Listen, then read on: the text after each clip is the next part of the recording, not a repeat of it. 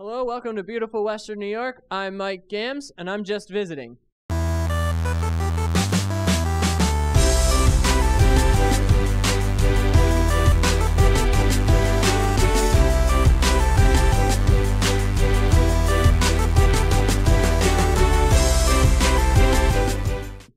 Uh, we tried to get the funniest, most talented people in all of Western New York to come on here and uh, and, and talk to me and hang out.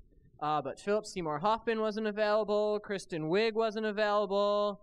Pretty much no one was available. But we got this guy Tommy. Hey Tommy, what are you doing here in Western New York?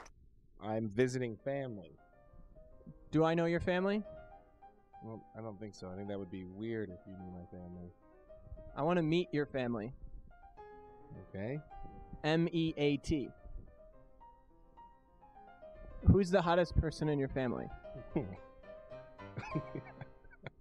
Any ladies? no, all men.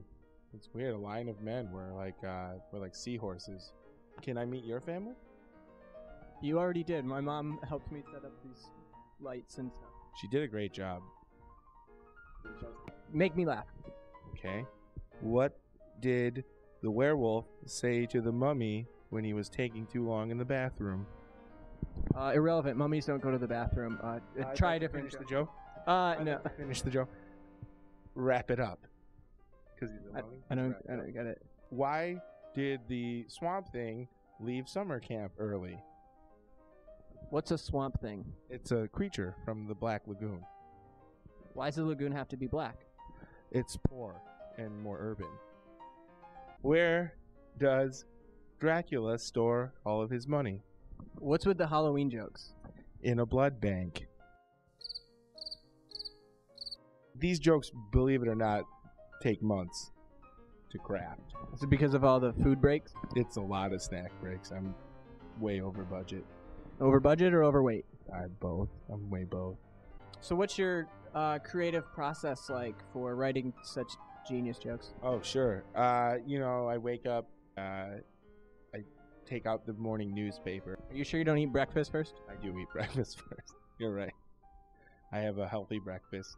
Come on. I have a very unhealthy breakfast. I think you'd be a lot funnier if you weren't so fat. History disagrees with you. Okay, so name one funny fat guy. Uh, Chris Farley, Dead. John Belushi, Dead. John Candy, Dead. Sam Kinison, Dead. Kevin James. Dead. no, he's not dead. I mean, did you did you see the zookeeper? Yeah, he should be dead. I think he played the walrus in that movie. I think he played the zookeeper. I don't know. I didn't see it.